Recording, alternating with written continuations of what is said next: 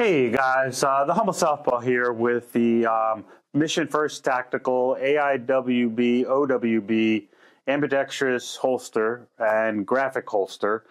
Uh, just before we get going into the specs and you know just giving you my point of view on these, uh, just for disclosure, uh, Mission First Tactical did send me my graphic um, holster here with my logo on it uh, for review. The Kimber holster that came in with my uh, Mako R7. So that one is provided when you buy a, a, the range kit and all that. So just to give you full disclosure on that. Um, so let's go ahead and get going here. And so to start off with, and let me just, so they come with a, um, these are Boltaron, Molitron, which is a thermoplastic. It's a higher grade than your Kydex. Uh, Boltaron was made for uh, airline, the airline industry, and automotive. It um, uh, more resilient to uh, high temperatures and for uh, cold temperatures, hot temperatures and cold temperatures. Uh, very rigid, uh, very sturdy in those um, manufacturing situations. So I mean, to use a Boltaron on a holster is, is a great option. I do definitely, when I see a holster made with that, I definitely look, uh, gravitate towards that. So you definitely want to look at, um, you know, holsters that are made with Boltaron. Not to say that the other ones, you're going to pay a little premium price on those, but, and the other, just pure Kydex or even just a thermoplastic molding type uh, holster are, are good too. You know, just different levels of quality and all that, but they all will do a good good service to the uh, to a holster. Uh, this one here comes with a one and a half inch belt clip, as you can see on both of these. Um, they do recommend uh, their IWB to OWB paddle conversion. I did not get one of those. And also, when you do use you know, if you're changing, using the holster, changing it from a left to right handed, or you're going to go with the conversion, they do recommend a, um, like a Loctite on the screws, just, you know, with all that movement and tension and all their screws can get loose. So they do recommend that. And I'll, I'll put down below, you know, in my description, uh, the, the Loctite I use. Uh, it's recommended by a lot of um, competition shooters, long range shooters. They say it you know the the other Loctite a lot of people use it. This one will is the holds the job, does the job, but when it's time to unscrew it, it's not as hard. You're not going to strip the screws or, or anything, or the threads or anything like that. So I'll leave it down below. Um, so this also comes with, and I'll flip it on this side here. It has a cant from zero to 15, as you can see on this one here. Let me raise it up a little more elongated here. So you have a 0 to 15 degree cant that you can do on these. Um, same thing on this one here. Uh, it does have a an audible passive retention. Let me find here. And you definitely can hear that click as you're putting it in. And both of these are set up for uh, outside the waistband. Um, I prefer carrying outside the waistband. Um, I have another holster I've been using for inside the waistband with my 365, uh, but these I tend to use outside the waistband. Now this one I need to tighten up a little bit so you don't hear that retention as much there. I need to tighten up that screw, but definitely um, both. And before we get going, both of these holsters have been, uh, both holsters, both of these guns have been checked. They are not loaded uh, for YouTube's sake. Um, so just to be aware of that, so they are not loaded. Um, they are cut for uh, red dot readability.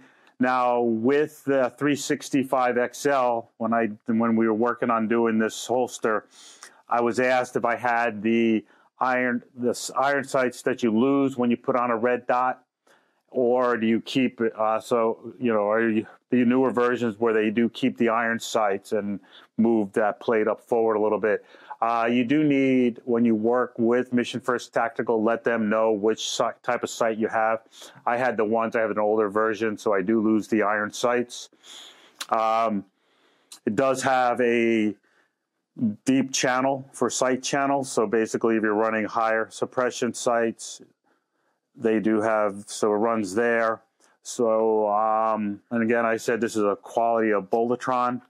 So it's definitely a nice, sturdy um, material and all that. Uh, these are molded, trimmed, assembled, and buffed by hand. So this is no machinery. It's all done by hand. Um, and you can feel it's nicely buffed. You know, no, no sharp edges around anything um, everywhere. Just definitely feels nice. Um, and they are made in USA. They are located in Pennsylvania, Horsham, Pennsylvania, and they are um, lifetime warranty. So these are definitely nice. I've been enjoying them. Um, when you wear these, I sometimes I forget I'm carrying. That's how well these are. You don't feel any tug. You don't feel anything where it's tilting up against, you know, pulling your waistband out or your belt out. So these are definitely nice. Uh, like I said, some days I'm like, oh, I got my gun on me, so my firearm on me. So just an excellent uh, product here. Um, I would place these kind of in you know, price wise in the mid range, depending on how what you're thinking. So low end to me would be something like thirty dollars. These run, and the funny thing is, there's only a five dollar difference between the graphic and the plain. It's like fifty four ninety nine for just the plain, and another five dollars, fifty nine ninety nine to have your graphic. And they do it on both sides, uh, depending if you're left handed or right handed or vice versa. Um, so this one I consider mid range. They're about sixty dollars.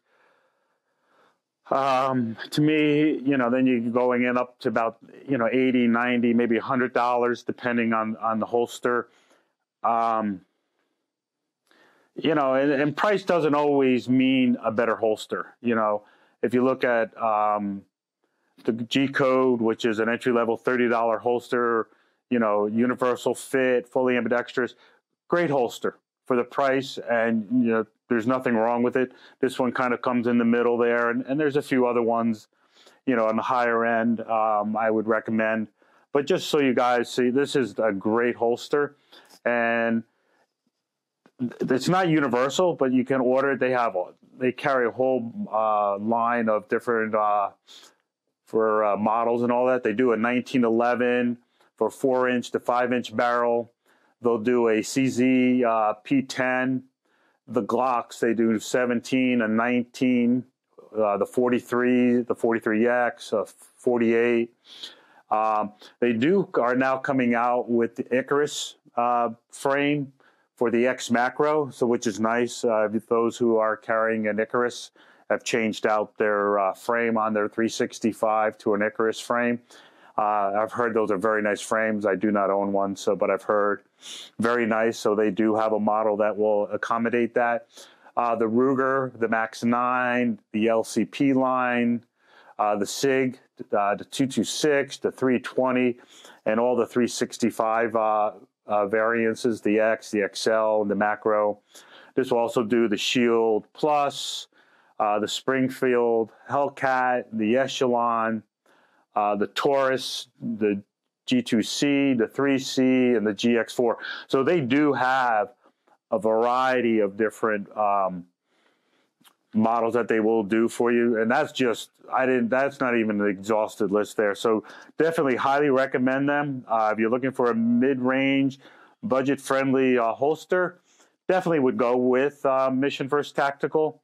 Um, I've been happy with it. And again, I mean, the graphic definitely looks very nice. You know, they did a, a, a mock up for me, so I was able to see it how it would look. And honestly, once I got it, it was even better than what I initially, you know, in the mock up. You know, sometimes mock ups are, you know, you can see it, but until you vi- actually visually see the product, it's it's excellent. And um, they also did for my a couple AR-15 mags, and I'll do a review on those, but so I definitely highly recommend these guys. Uh, if you do like this uh, video, please give me a thumbs up.